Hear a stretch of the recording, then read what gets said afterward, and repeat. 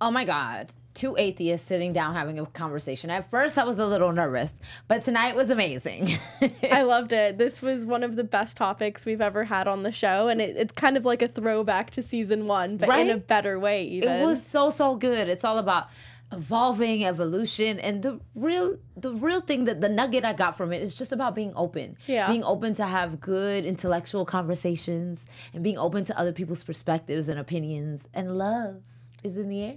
love is in the air, and I love the subplot of love being in the air with Javicia's character Ali and So good. her new girl. So good. So yeah, the way that pans out at the end really disappointed me, but life is life, and I don't think it's gonna be the last of her. it's all good. It's all good.